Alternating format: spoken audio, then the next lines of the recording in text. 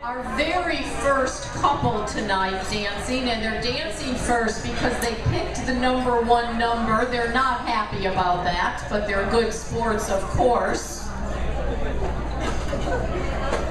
So pleased to welcome to the stage, and actually, Frank, why don't you mention what dance are they doing? They're going to start this uh, evening off with a really hot, fiery cha-cha. Ooh or as Brad was calling it today, a cha-cha-cha-cha. But it is actually a cha-cha. From WFSB, Heather Hegedus, weekend anchor, and her dance partner, Johnny Gonzalez.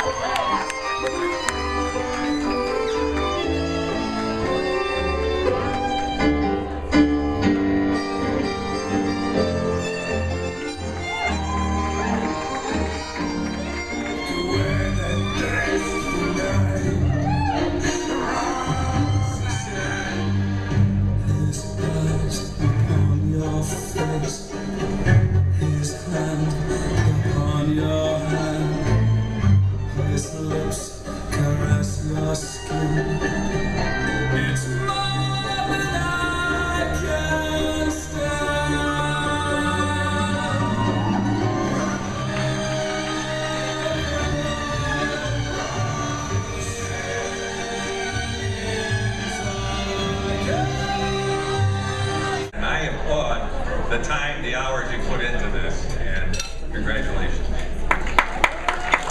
had the, attitude, the character. I mean, I, I was kind of nervous over here of you. It was, definitely held that really, really well. and do what you did that you never did before. You had the passion and you were.